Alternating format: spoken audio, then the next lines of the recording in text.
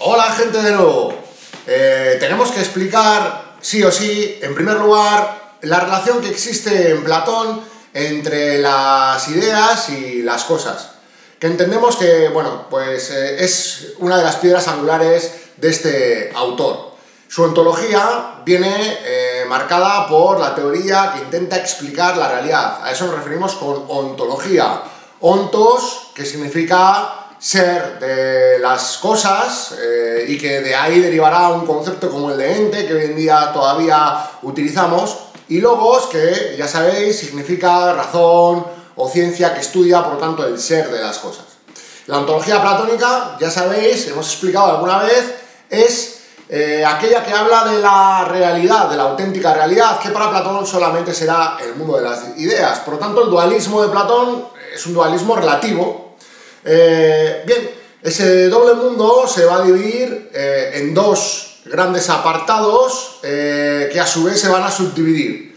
En el mundo de las ideas empezaremos por el que Platón considera que es el único existente y real, pues tenemos evidentemente las ideas que son, mm, en tanto que objetos de estudio,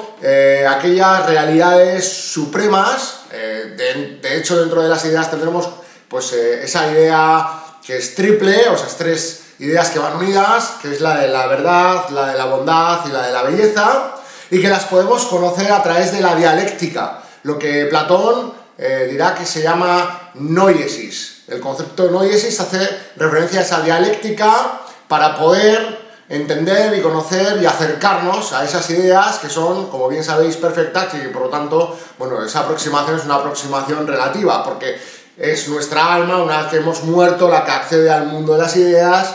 eh, y, vive y convive con, ellas.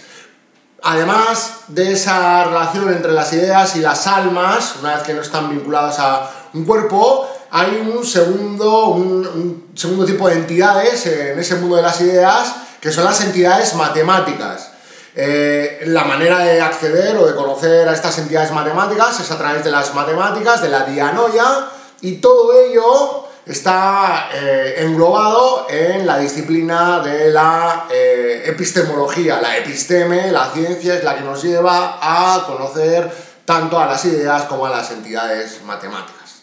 Así que